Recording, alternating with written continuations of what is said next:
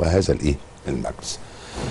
نمرة اتنين بما إنها شركات ومن أشخاص القانون الخاص هيكل أجورهم يختلف خالص عن هيكل أجور العاملين بالدولة. بمعنى العاملين بالدولة ما عندهمش حاجة اسمها حصة أرباح. العاملين بالدولة ما عندهمش حاجة اسمها حوافز إنتاج. العاملين بالدولة ما عندهمش حاجة اسمها حوافز دورية كل ثلاث شهور بحسب القوائم المالية. عاملين بالدولة آه، ما ما عندوش لا دورات تدريبية زي اللي بنعملها ولا بدل طبيعة عمل ولا بدل وجبة ولا بدل ولا- الحاجات دي خالص. فده هيكل ولوايح ما. وأحكي لك الحكاية يعني الخلط ده مش أنا السبب فيه هي اتثابت سنين? لدرجة إن في ناس من اللي بتشتغل في الشركات وده أحد الحاجات الدروس اللي الواحد اتعلمها ده في قائمين على إدارة الشركات مش عارف دي. ده مش عارف إن هو صاحب القرار. هو اللي ياخد قراره. ما تدي ما أنا عندي شركات بتدي حوافز إنتاج كل شهر قد كده. بيحققوا ال- ال- المستهدف. المستهدف وبيزود فلازم يديره. وكل ثلاث شهور بيعمل قوائم مالية وبيشوف نتائج طالما. كسبان. طبعا. آه. لا وأنا حطيت قاعدة. ما أنا برضو منظم. ما أنا الوزير السياسي اللي لازم أقول للناس قلت لهم الشركة الخسرانة لأسباب خارجة عن إرادة الشركة. زي إيه؟ أنا عندي شركات مثلا إحدى الشركات واخدة قرض من سنة 81 50 مليون جنيه من من أحد البنوك. وصلوا كام النهارده؟ خلاص. فوائد بالفوائد المتراكمة وما أعرفش من بنك الاستثمار يعني حكومي 2 مليار و200 هذه الشركة كلها لو قيمتها و... و... وعايز تبيعها هي ما تجيبش 350 مليون. فأنت دي عليها لوحدها ديون بقد كده. وهي ما تجيبش 350 مليون. يعني لو بتكسب 30 40 مليون تقول الحمد لله. بس لما بييجوا يعملوا قائمة نتائج أعمال. هو بيعمل صافي الربح قبل الفوائد. يجي يشيل الفوائد لازم يطلع إيه؟ خسران, خسران. فأنا قلت للشركة قلت للشركات القابضه كلها. الشركة اللي تزود صافي الربح قبل الفوائد ويكون الفوائد دي نتيجة لديون قديمة لا مسؤول عنها اللي بيشتغلوا النهارده ولا ولا. اللي جم النهارده ولا أي حاجة وفوائد. متراكمة. فده لازم يحس إن هو عمل حاجة وإلا هيقول لك إيه؟ طب ما أنا اشتغلت ما اشتغلتش. في. النهاية خسران. لا أنا ال 20 مليون اللي كان بيكسبوها بقت 30 مليون. كويس أدي 10 مليون. حلو.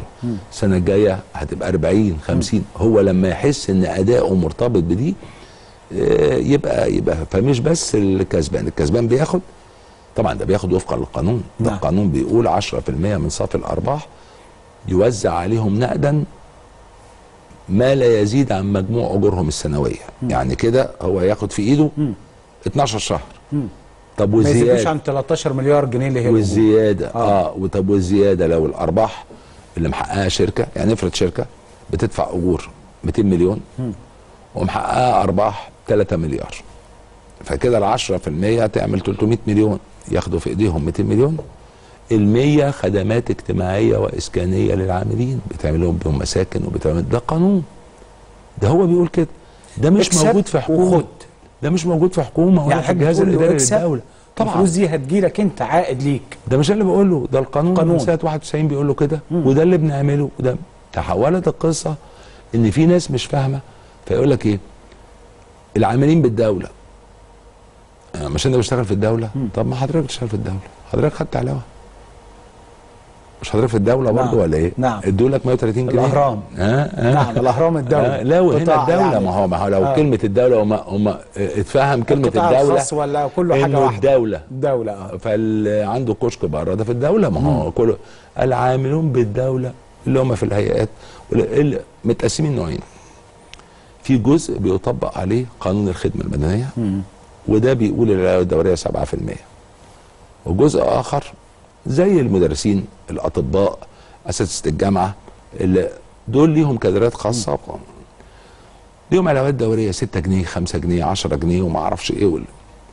فاتقسموا الناس جزئين جزء بياخد دي وجزء ما. فطلع قانون بتاع الخدمة المدنية نظم العلاوة الدورية بتاعت العاملين بالخدمة المدنية. 7% كل سنة. طب الناس التانية؟ ففي شهر إبريل اللي فات